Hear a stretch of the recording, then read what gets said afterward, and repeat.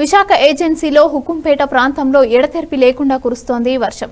గులాబ్ తుఫాన్ దాటికి పలు గ్రామాల్లో శిథిలావస్థలో ఉన్న వంతెనలు గెడ్డె దాటి నీరు ప్రవహిస్తోంది. హుకుంపేట మండల కేంద్రానికి కూతవేటు దూరంలో గల హుకుంపేట నుంచి ఆడమండ వెళ్ళే దారి మార్గంలో ఉన్న వంతెనతో పాటు రాపలివిటి వంతెన దాటి నీరు ప్రవహిస్తుండటంతో గిరిజనుల రాకపోకలకు తీవ్ర అంతరాయంగా ఏర్పడింది. గిరిజనుల జీవితాలు అగమ్య గోచరంగా మారి అస్తవ్యస్తంగా మారాయి. ఇప్పటికైనా అధికారులు ప్రజాప్రతినిధులు స్పందించి శాశ్వత వంతెన నిర్మాణం చేపట్టాలని గిరిజనులు కోరారు.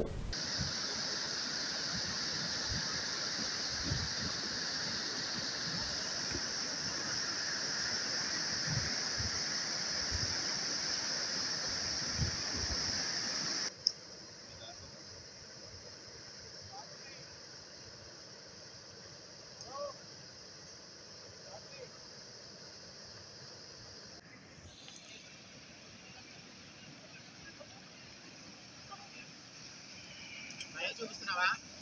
ఇది సిరిపుట్టు గడ్డ.